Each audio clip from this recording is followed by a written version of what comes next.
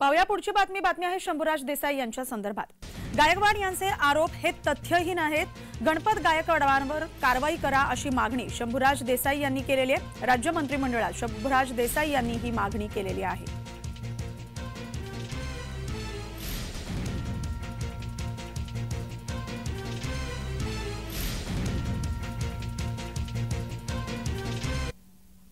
शंभूराज देसाई नेमकं काय म्हणाले त्यांची नेमकी मागणी काय आहे? पाहूयात.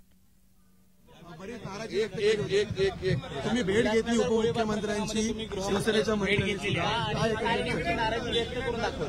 या संदर्भामध्ये आज मी आम्ही सर्व मंत्री शिवसेनेचे मंत्रिमंडळाच्या बैठकीला होतो.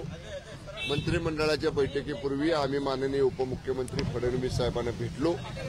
गोळीबाराचा विषय वेगळा पण भारतीय जनता पक्षाचे आमदार गणपत गायकवाड यांनी माननीय मुख्यमंत्री एकनाथजी शिंदे साहेबांच्या बद्दल जे तथ्यहीन बे- बेबुनियाद बिनबुडाचे ज्याच्यामध्ये कसलाही अर्थ नाही असे जे आरोप माननीय मुख्यमंत्री एकनाथजी शिंदे साहेबांवर व्यक्तिशा केलेले आहेत त्याच्याबद्दल आम्ही आमचं मत हे माननीय फडणवीस साहेबांच्या समोर मांडलं.